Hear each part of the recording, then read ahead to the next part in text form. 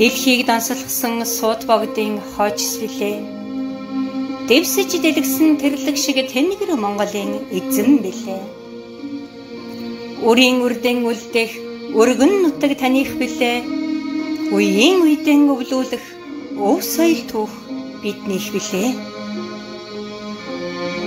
Зон зонаар дурсагдах авгаад эцсийн үргэлжлэл зоохон жилийн дараа дахин гудайх учиргүй зүрхтэй цөстэй ирсэн амиараа хамгаалсан их хорон минь. Зүйдэлгүй тэнгэрийн доор мөнх мандах учиртай. Морин туурайгараа дэлхийг хамгаалсан нүүдэлчдийн мохшгүй зэрэг цуцшгүй тэмцэл хаана байна? Мэрэгэн ухаанаар анги төр түшилсэн хатадын мэхийн хүндэтгэх төвшөтгэх ёсон хаана байна Их Монгол улсын үзэх нүд сонсогч их төрийн дээд зарагчийн үнэн хаана байна? Их засаг хуулийн зүйл бүрийг тусгасан шудраг бусын шийтгэл хаана байна? Их юан ил хаанд алтан орд цагаадын улсын түүхийг мэддэг нь хідвэ ижил олон ардынхан эрх чөлөөгөр сэлсэн тусгаар тогтнолоо хамгаалдаг нь хідвэ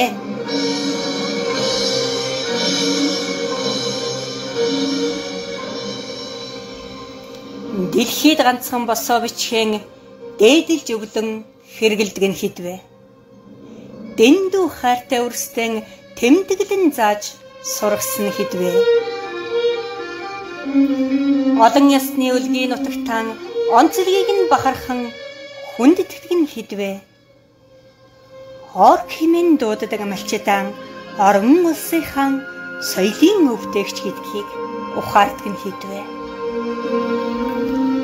мод химэн тэрэн дагаж маяглахаас Монгол дээлэн өмсөн гангардаг нь хідвэ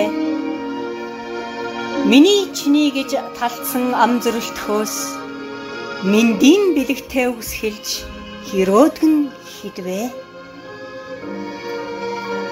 Ханч явсан Монгол химэн зүрхэн лугших халимаг буряд туа өвөрлөгч төмнөө онцлогтой нь хайрл халдшгүй дархан ирэхэд Монгол төрөн өргөн ханаж цаддаггүй шунаг хүслэн хазаарл.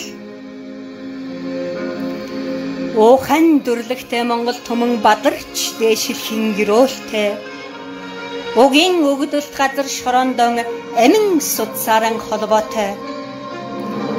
Уйхан замб твийн нарн уужим морчлонгор цуурайтай. Ухаан тар дэмэн зан заншил давтагдашгүй онцлогтой. Эртний сайхан дуу 800 дамжин ихшиглэж эрхэт төрийн хэргийн уйлэг дэгшдэн уянгалдаг юм.